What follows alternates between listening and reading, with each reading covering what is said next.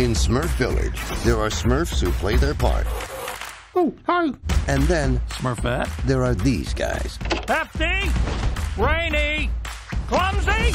Oh, that's not even convincing. Follow me. I found a map to a lost village, but we'll have to go through the Forbidden Forest. Wow.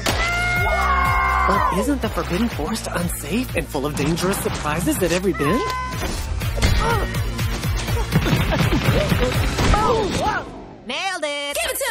Next year, We've got to stop them before they find the truth. I'll be like, ah, blah, ah. They'll be all like, oh no, I gotta. And I'll be like, Clumsy, how you doing? Ah, okay, I guess. Whatever you do, don't eat all your rations. I just ate all my rations! you think you know the Smurfs, I think my rations are coming up. But you don't know the whole story. What's going on over there?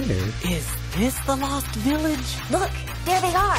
What do they want? What if they have scaly skin? And giant claws. We should be prepared for whatever we find. what the? I'm really freaking out, you guys! Smurfs, the Lost Village.